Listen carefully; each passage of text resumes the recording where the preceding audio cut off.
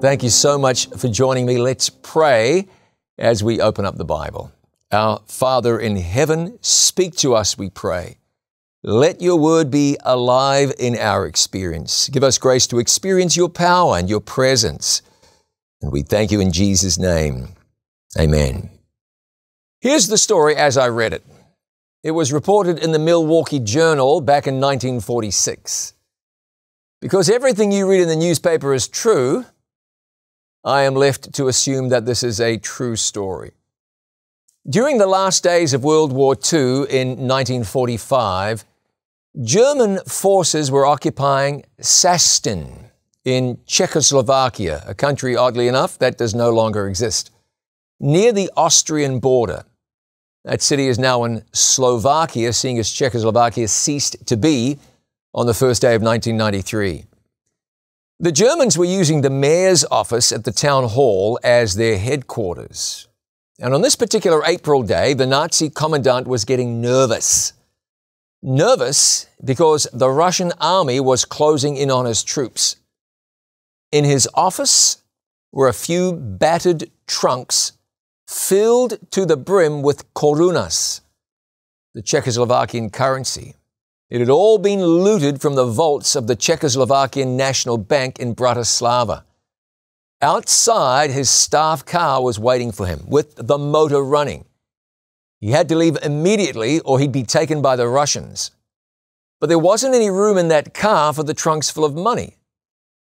So he told a couple of Slovakian peasants to look after the trunks. He said, I'll be back someday and I'll come to you for these trunks, and if you hand them over to me, you will be richly rewarded. It was the next day when the Russians arrived in town. One of the first things they did was inspect the Nazi headquarters, and there were the trunks. Wondering what they were, they broke one open and found them filled with currency. Now, you have to keep in mind what was on the minds of these soldiers. They'd been on the move for months with just one aim, and that aim was to march into Berlin and secure victory. So a weary lieutenant, whose name nobody knows today, said, Who knows if I will even be alive tomorrow? Give this money to the townspeople. He gave orders for the people of Sastin to receive a thousand korunas for every year of their life. In all, 300 million korunas were handed out. The equivalent in 1946 of $6 million. People with large families ended up between 150,000 and 200,000 korunas, a pile of money, especially in that day and that time. Those downtrodden people went quite literally from rags to riches. Now, just about anyone hearing a story like that listens with just a hint of envy, at least. But the fact is, suddenly getting your hands on a ton of money can be a curse. An English baker named Keith Gough died some years ago, cursing the fact that he had won the lottery. In 2005, he won 9 million pounds the equivalent of almost $14 million at the time. And it ended up ruining his life. When they won the money, the Goughs said they'd never have to worry about money again. Well, they lost their marriage, they lost all their money, and finally, Mr. Gough lost his life due to a heart attack said to be brought on by worry about money, alcohol abuse, and boredom due to not having a job. He told the newspaper about a year before he died, What's the point of having money when it sends you to bed crying? A man in the United States won $250 million in a lottery. His wife said she wishes he had never bought the ticket. Rags to riches. Uh, might sound nice, might be nice, but it might not be. Either way, what the believer in Jesus can experience without any worry at all is going from rags to righteousness. In the book of Philippians, the Apostle Paul deals with the question of experiencing true righteousness. In chapter 3, he lists some qualifications that would lead many to believe that he was a tremendously righteous man. let's look at what he wrote. We're in Philippians chapter 3, and I believe we're going to start, and let me just turn there with you. Philippians chapter 3, and we'll begin in verse 4. Paul says, If any man thinks that he has whereof he might trust in the flesh, Paul wrote, I more.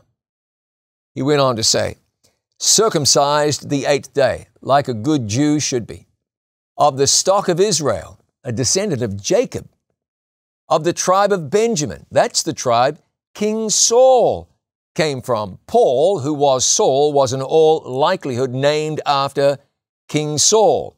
And it was the tribe of Benjamin that stood faithful to Judah at the division of the kingdom. He went on to say, and Hebrew of the Hebrews, as touching the law, a Pharisee, concerning zeal, persecuting the church, touching the righteousness which is of the law, he wrote, he was blameless. How holy he had to be to be able to say, according to the law, I am blameless. If there was something the law required, he did it. You couldn't fault that man. He was righteous in the eyes of the religious people of the day. This was somebody whose Jewishness was beyond question. And if the Jews had been considered to be God's own people, Paul was suggesting that using the measurements that people commonly used, he was a pretty holy sort of man. However, he goes on to say something that's really quite shocking. He goes on to tell that in spite of having tremendous credentials, those credentials wouldn't win him the election if there was a search for someone who was genuinely holy and righteous. He said in verse 7 of Philippians 3, But what things were gain to me, those I counted loss for Christ. He goes on to say, Yea, doubtless. And I count all things but loss for the excellency of the knowledge of Christ Jesus my Lord for whom I have suffered the loss of all things, and do count them but dung that I may win Christ. That's an interesting description. Rubbish, worthless, garbage. Paul once saw the great, dedicated, zealous, righteous man, came to the place that he considered all of those credentials to mean little or nothing to him. How could that be? You see, Paul came to a stunning conclusion. In spite of the fact that he had some impressive credentials and impressive qualifications, he came to see that they were woefully inadequate for getting the job done. All his goodness, all his righteousness, his pedigree, his family tree could not obtain for him true righteousness. And that would be the righteousness of Christ. Paul discovered that all the discipline, all the self control, all the good intentions, all the fervent belief in the world couldn't make an unrighteous person into a righteous person. He possessed an awful lot of impressive credentials. You've seen military people, right? Rows and rows and rows of ribbons and medals on their chest. They're impressive to look at. An Army veteran might have a ribbon for World War II, or for having been a POW, or for having served overseas, or for having served in a place such as Korea, or for having served in Iraq. Then, when you add to some of these a Distinguished Service Medal, or a Soldier's Medal, or an Armed Forces Expeditionary Medal, or an Iraq Campaign Medal, those things look impressive. Paul had row after row of religious ribbons and medals, and they looked good, but they didn't mean anything. In Paul's case, all they did was look good. When it came to righteousness, they were not worth anything to him. So, what did Paul really find would bring spiritual satisfaction. And so we read further. In fact, let me just recap a little bit of verse 8 and then, and then springboard into verse 9. He said, I count all things but loss for the excellency of the knowledge of Christ Jesus my Lord, so that I may win Christ and be found in him, not having mine own righteousness, which is of the law, but that which is through the faith of Christ, the righteousness which is of God by faith. Notice what he said. All this self righteousness, not worth two cents. But what I want is Christ's righteousness, and I want the righteousness which is of God by faith.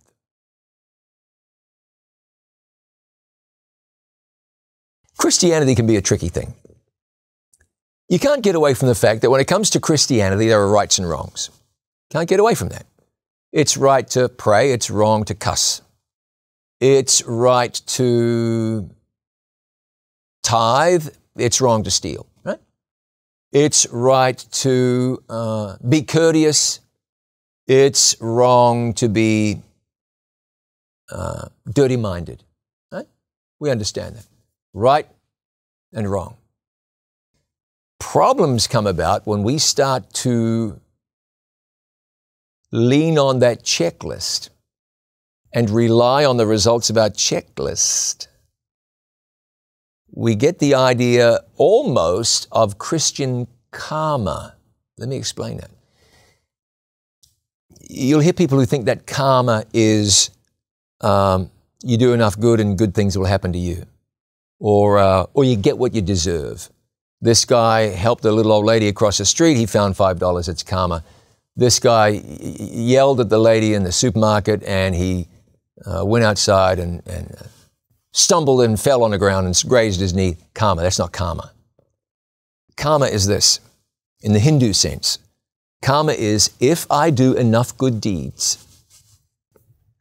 then I will outweigh the bad deeds and I'll do enough good deeds that I can uh, experience the transition to the afterlife and ultimately achieve moksha, which is basically we call that salvation. I think Christian karma has come into the church. Well, I'm a good person. I'm good enough. You know, I know I might have an honesty problem, but at least I'm not like that guy over there who's cheating on his wife. Or I know I should tithe, but you know, money's tight and so rather than trusting God, I'm providing for my family. So I'm doing a good thing. So my good deeds are outweighing my, my, my bad deeds. It's not how it works, brother, sister. It's not how it works. There are many people today who assume that since they name the name of Jesus, and because they don't kill and they don't commit adultery, then they must be righteous. Because they went to church school, graduated from a church university or college, They've done just about all there is that needs to be done. They're as good as the Pharisees. Lots of outward observance, high profession, a great amount of dedication to what undoubtedly is a good cause, and therefore, surely they're going to go to heaven. After all, they're, they're good people, right? But that isn't how Paul saw it. He said that far from his good attributes recommending him to God, he came to the place where he considered his own righteousness, which he said was of the law, to be refuse or dung. Righteousness involves an awful lot. It isn't just saying the right words, making the right movements, doing the right things outwardly. There is no question that righteousness is right doing. I'm not trying to muddy the waters and give you the impression that somehow a righteous person doesn't do right. Of course, a righteous person does right. But I'd like to suggest to you that righteousness is more than right doing. Righteousness is right being. When it comes to being righteous, the Word of God tells us, and Paul tells us explicitly, that the righteousness we need is, get this now, the righteousness of God. And I would like you to stop and think about that. What sort of righteousness is the righteousness of God? Think about that for a moment. That would have to be the most righteous righteousness that you can imagine. What would you call it? How would you describe it? Would you call it complete righteousness? I think we could. Could we call that perfect righteousness? Oh man, we'd have to. If not, we're finding ourselves in the place where we are saying there's something incomplete or imperfect about God's righteousness. So, what Paul is telling us is that it is God's plan to give us God's own perfect righteousness. Now, mention this too loudly, and you'll make a lot of people very nervous. Because we all know that that sort of a righteousness is very, very righteous. And we're tempted to say, I could never imagine myself ever being that righteous. But evidently, God does imagine you being that righteous.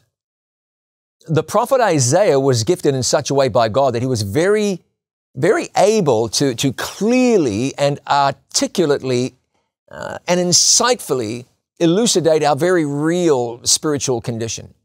He wrote these in the 64th chapter of his eponymous book. This is verse 6. He wrote, Isaiah 64, verse 6.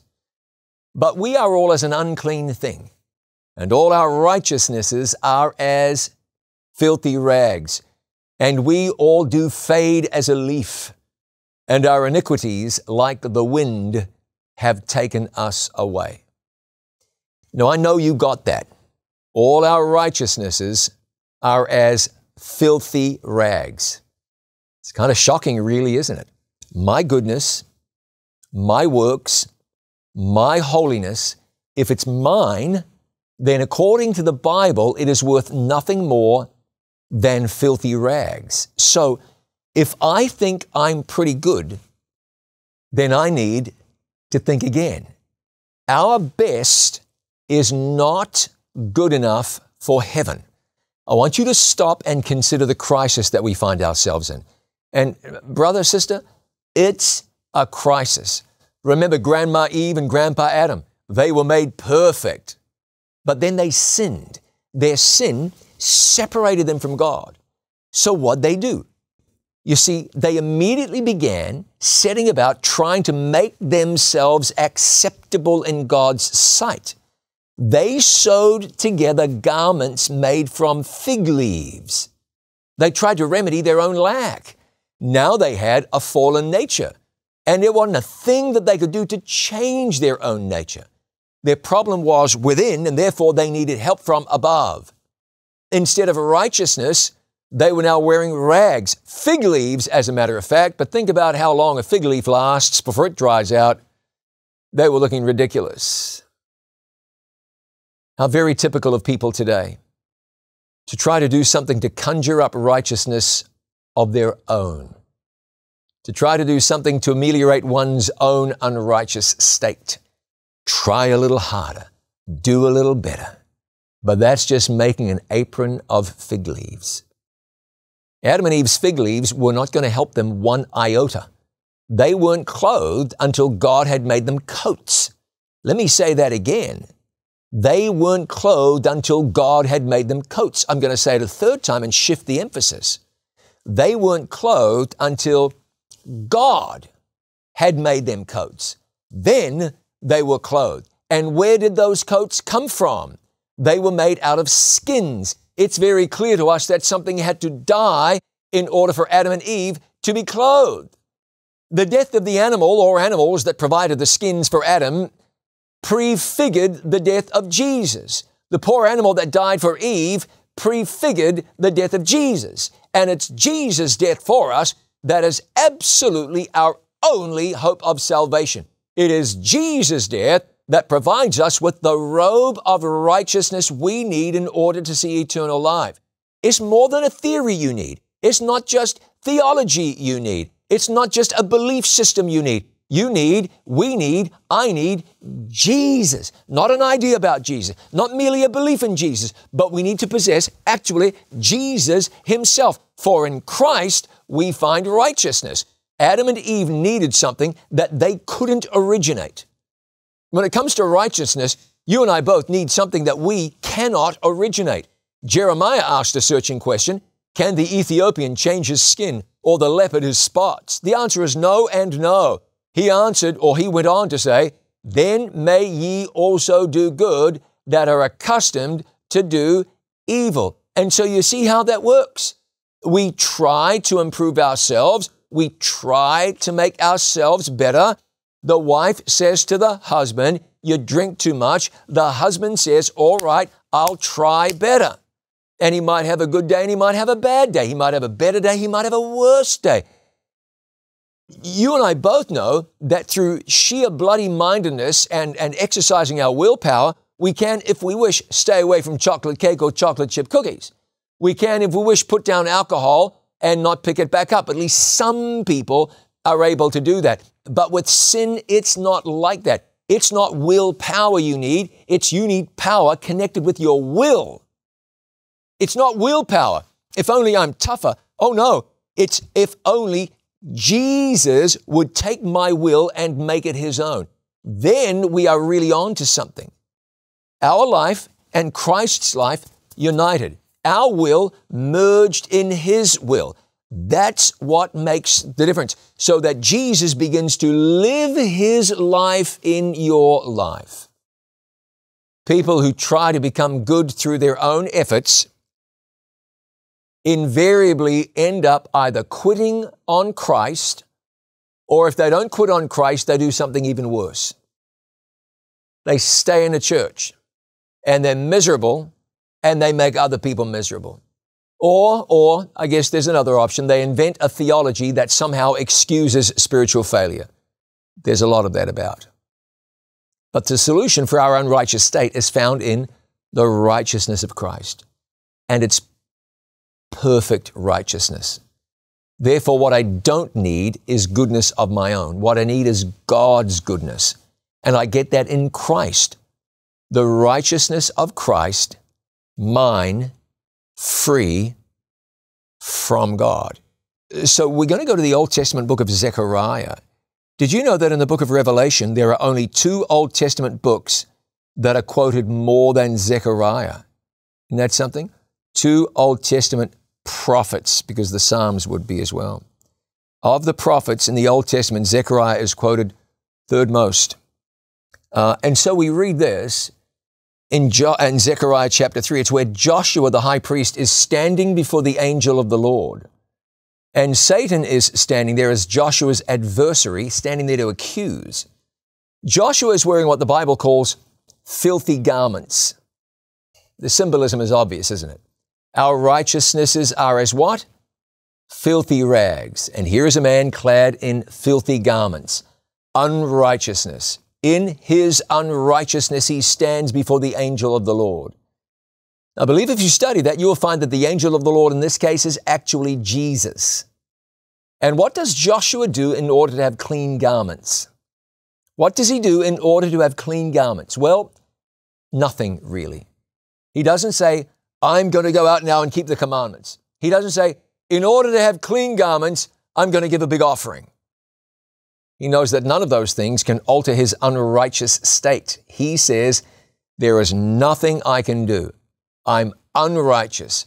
I am filthy. I am no good. But I'm here in the presence of God and I'm willing. I'm willing to be made right. I'm willing to accept what the angel of the Lord has for me. And so let's pick it up here. I want to start in verse 1. And he showed me Joshua the high priest standing before the angel of the Lord, and Satan standing at his right hand to resist him. And the Lord said unto Satan, The Lord rebuke thee, O Satan, even the Lord that hath chosen Jerusalem rebuke thee. Is not this a brand plucked out of the fire? Now Joshua was clothed in filthy garments and stood before the Lord, uh, before the angel. And he answered and said unto those that stood before him, saying, Take away the filthy garments from him. And to him, to Joshua, he said, Behold, I have caused thine iniquity to pass from thee, and I will clothe thee with a change of raiment. I'd like you to understand what he's saying here. It sounds familiar, doesn't it? In the Garden of Eden, Adam and Eve were wearing garments that were woefully inadequate, but God took them away and gave them clothing that would be appropriate for their needs. And God does the same here with Joshua the high priest. Take away the filthy garments from him. And then in verse 5, it says, Let them set a fair mitre upon his head. So they set a fair mitre upon his head and clothed him with garments. And the angel of the Lord stood by. Okay, who made Joshua the high priest clean? God did. What did Joshua do? You're going to say he did nothing. That's not right. He allowed God to do what God wanted to do. In other words, he surrendered. He didn't fight. God said, I want to do something in your life, Joshua. And Joshua could have run out of there. I don't want to have anything to do with that. But he didn't. Joshua could have squirmed and fought and said, I don't want that rotten thing on my head. I like my old garments. Joshua didn't fight. Joshua surrendered. Joshua let God do what God wanted to do. Come on now, bring it home. Apply it to your own experience. Joshua let God do what God wanted to do. In essence, friend, faith in God is simply a matter of letting God do in our lives what He wants to do. It's that simple. We let God be God. The sinner repents. And when he or she repents of his or her sins, sincerely confessing and by God's grace forsaking them, what does God do? Oh, this is too easy. 1 John 1 and verse 9. If we confess our sins, He is faithful and just to forgive us our sins and to cleanse us from all unrighteousness. We confess, we repent, and what does God do?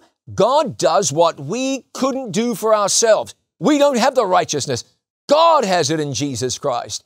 God meets our sincere repentance with forgiveness and with cleansing. And so I want you to think about something here. I want you to think about something. We feel like we have failed. Of course we failed. By the way, if you feel like you're not good enough for heaven, let's just say it all together, everybody. I am not good enough for heaven. Amen.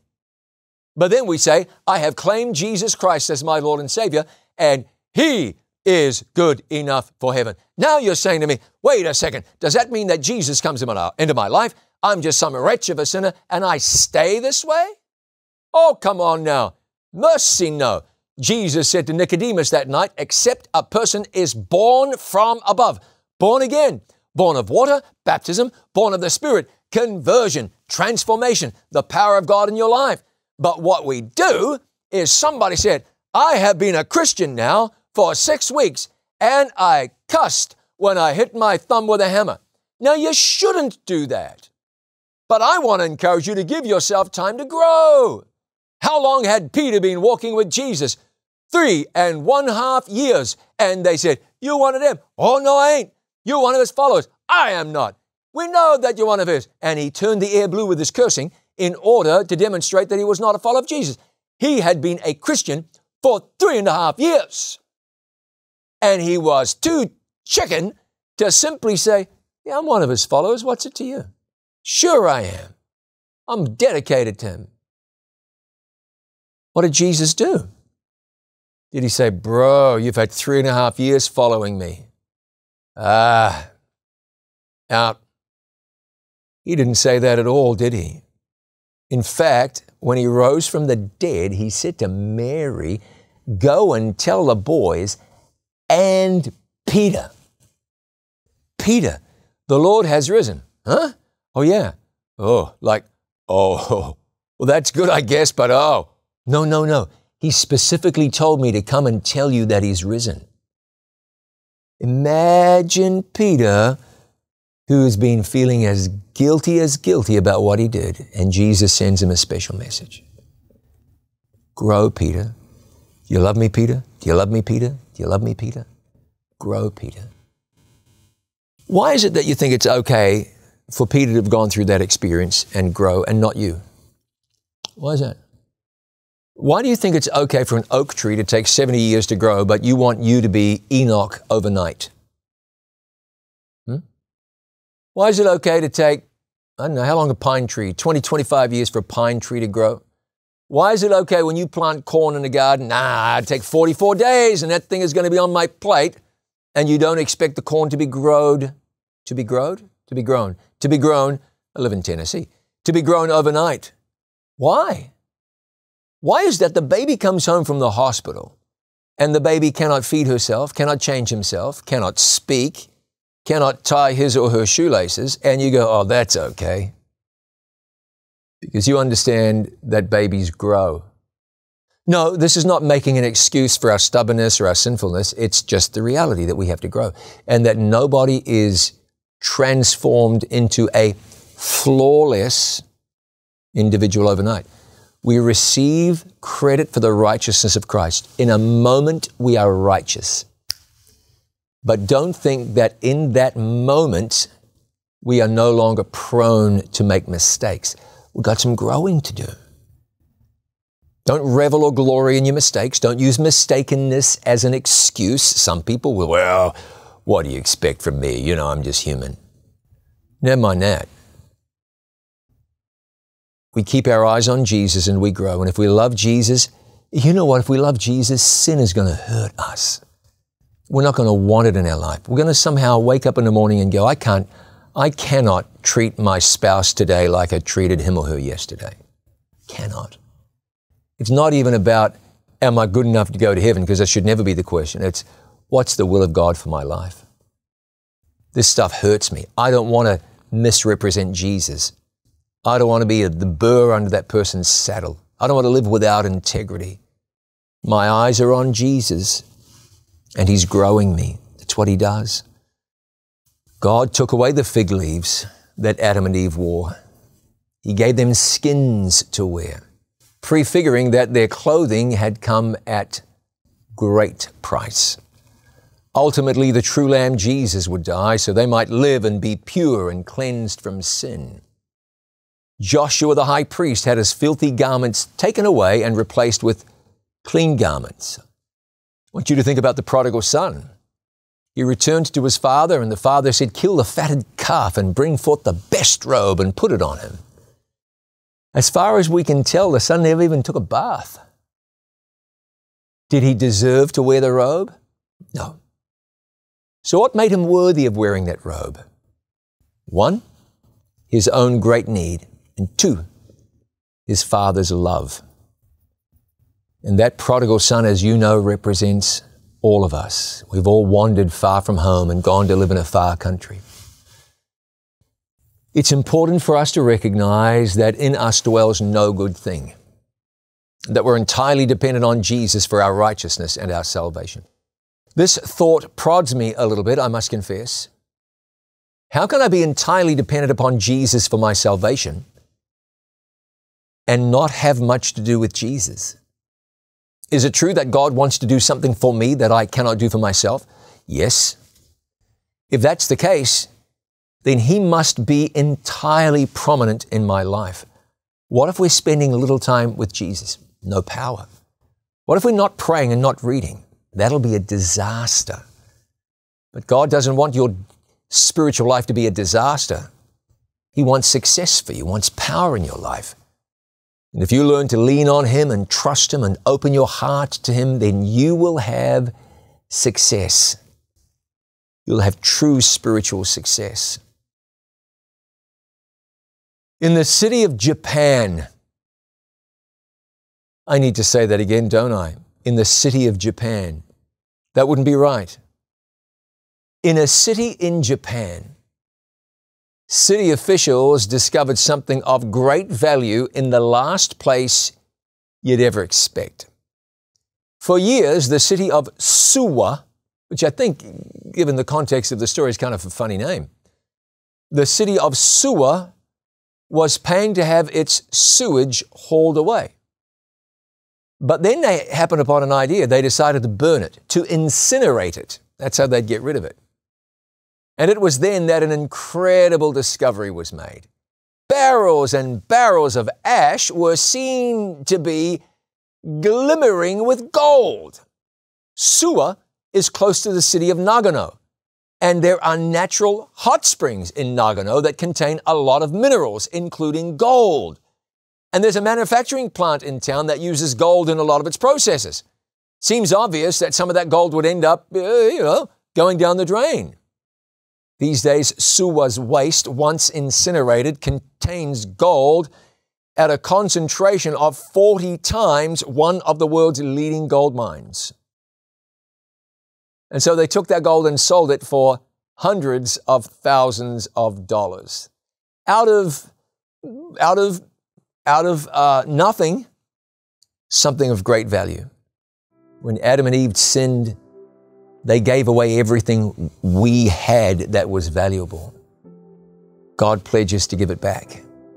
We can have that which is so valuable, it fits us for eternity. We can have it free of charge.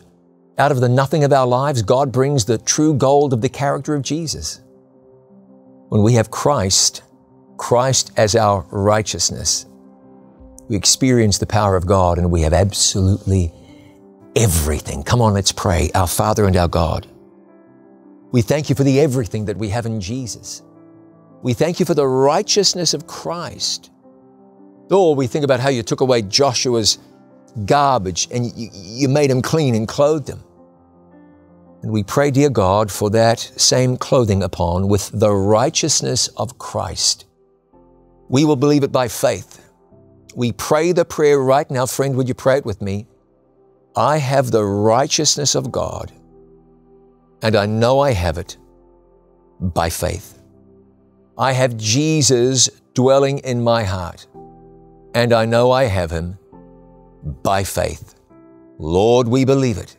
Help our unbelief.